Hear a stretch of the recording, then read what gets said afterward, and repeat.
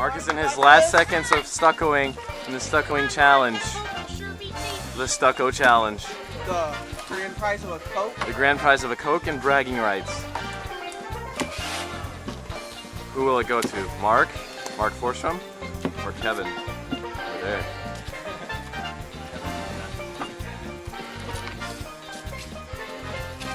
It's so close. The race is on. There goes Mark.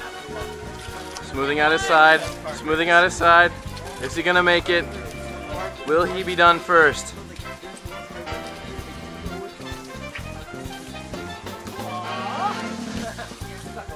He's Making Chinese, making noises, making noises must mean he's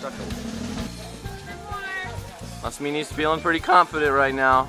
Judge Loveberry is on his way to judge the wall.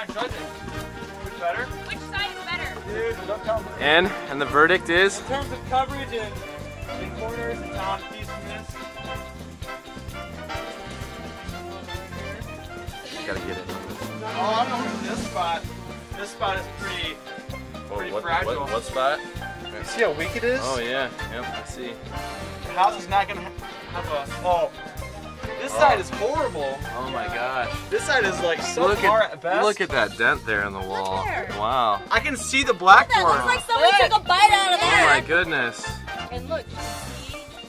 Wow. Wow. Well, look at look look at that. It's crazy. that that's terrible. Left side wins. Left side wins. Mark, Mark is the stucco challenge winner. Yay!